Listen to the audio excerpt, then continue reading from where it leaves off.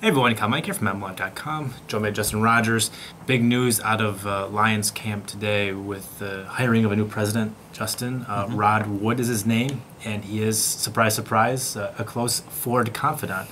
Um, has spent the past decade or so, I think eight years, uh, working for the Ford family uh, with their investments and business interests. Um, no football experience, but that's not necessarily a requirement for, for his job if he's just with the business side. Um, what do you make of, of the hire? I understand why it's met with skepticism. It deserves to be met with skepticism, uh, but as you mentioned, um, it's a position that doesn't require an intense amount of football knowledge. I think the biggest concern is he'll be having a hand in selecting a general manager, but after that, I expect um, and we'll get more clarity when we talk to him, but I expect him to, to step in the background and just handle business matters. Right. Uh, I, I, don't think this is an incredibly important football decision. I, I, still think the big decision's yet to come with, with the general manager hire. Right, and well, that was what kind of caught me too. After you know, once I thought about it some more, is that you know the, he he was he's being hired in part because it will expedite the GM search, and he's going to be part of that search, and that was what uh, Martha Firestone Ford uh, Ford had said in her release with the hiring.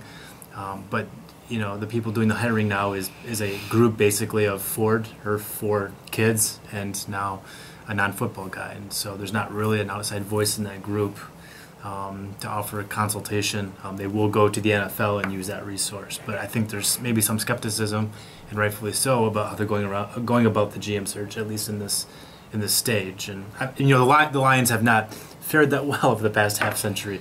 Um, so I think the skepticism is, has been warranted. The, the, Fords have routinely not done a good enough job when it came to hiring people to run the football team. And um, so when people see things like hiring a president who's never been a part of a football organization before, right. or someone who is a part of the Ford circle, there's skepticism, and I think there's a reason for that. Is because they, they've they've screwed up decisions like this before.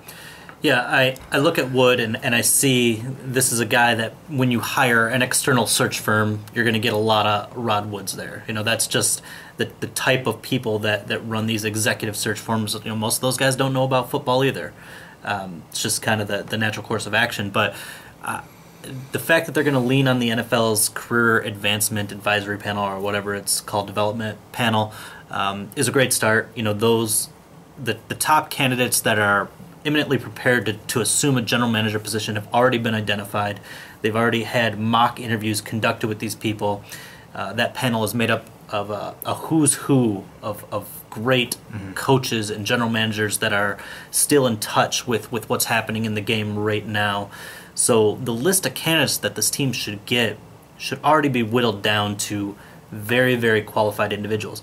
End of the day, the Fords are still going to be making that decision. Right. Um, and that's the pause for that's concern because for sure. The, the, you know, I know Martha Ford is has only been in control for maybe two years or so. This yeah. is her first major hire. Um, but her ownership group, uh, whether that was William Clay or her children, I know Bill Ford's had a big say in the organization for a number of years. The the, the Ford family has not been good stewards of the program of the of the program, the, the franchise, uh, for again 50 plus years. This is a, there's a long track record here, and so I think that's why there's some skepticism, um, and I understand it, even if you know he's a non-football guy. I don't think that's a, a, major issue. It's just it's something interesting to note because again, it's it's the Fords doing the hiring, and it's a little peculiar. Um, and now, again, the biggest red flag for me, the biggest flag to come out of today was, you know, there's a, a, a group that's going to be doing this hiring, and that group is a 90-year-old woman uh, in her second years of as, a, as an owner, uh, her four kids, and someone who doesn't know football. Like you know, I, I, just I don't I don't have a lot of faith, I guess, given their track record for making decisions that they're going to make a good decision now. Yeah, and I guess we can't say that Wood doesn't know football, but he's not a football insider. You know that much. Maybe it's know. a better way to put it. Yeah, but, I mean, yeah. he he grew up in this area. He graduated from Goodrich High School. He went to U of M. You know, he's been a Ford family advisor for quite some time. I, I think he probably has a pretty good grasp on uh, this city's anguish, this the fans. Um, anguish, but I look at his track record and I see a very smart businessman who has been entrusted with massive amounts of money uh, for different corporations, and he's continually moved up in the world. Uh, obviously, a great businessman. Um, I, I, think a good decision maker, but will that decision making translate to selecting a great football mind? Uh, none of us know. None of us know. I mean, he could uh, have a stroke of genius and, and be the great voice in that room that brings the right Yeah. football, you know, personnel here at the, at the GM level, or it could be more of the same from the last half century. Yeah, the I think the optics of the whole hire has been uh, an issue because you know with with fan you know fan fans want change. They want something new. And I think when Martha Ford axed Martin Mayhew and Tom Lewand there was that feeling of hey maybe things won't be the same this time around as they have been for so long because she was so quick to pull the trigger on those firings. We all knew they were coming. It was, it was kind of just a matter of when. And this year do in the mid-season I was like okay well maybe this is like a new era of, of ownership. And then she promises a national national search. Again the right thing to say two weeks later she hires someone from down the hall essentially.